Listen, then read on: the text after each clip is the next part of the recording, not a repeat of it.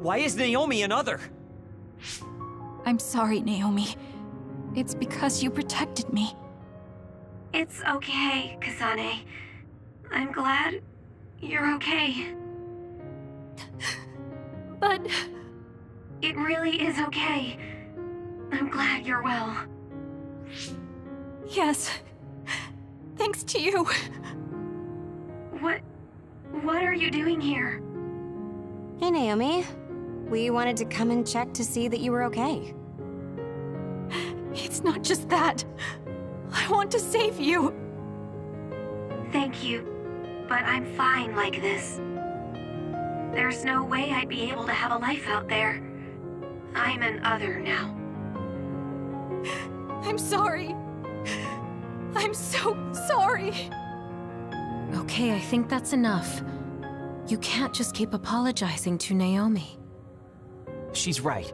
And hey, right now you're both alive and breathing. Isn't that something to be happy about? Major Kyoka, I'm sorry.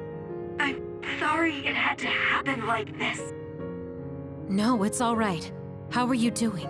The people here haven't hurt you, have they? I'm fine. The people here are very kind, even to an other like me. Naomi?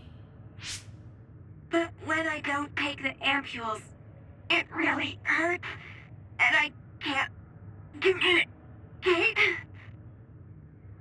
Sorry. Please, you have to go. Please forget about me. No! I was finally able to find you! The ampule.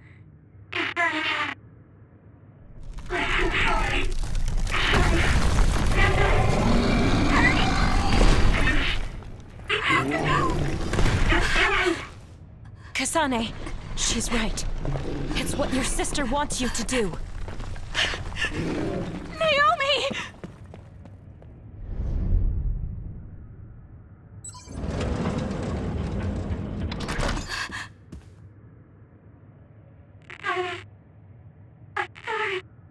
Naomi, why?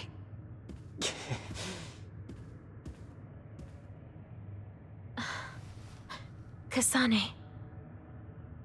So you came. Oh, uh, uh,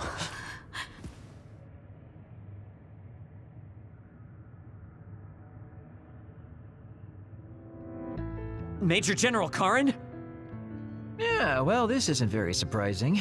Seems like you had us dancing to your tune all along. Naomi is able to maintain her personality with the medication in the ampules, but the effects are only temporary. The only way to save her is to revert her to her human state. And to do that,